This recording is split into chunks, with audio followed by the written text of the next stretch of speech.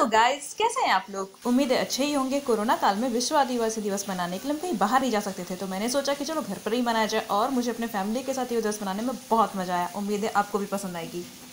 तो चलिए शुरू करते हैं गैंग्स ऑफ़ के इस धुन के साथ।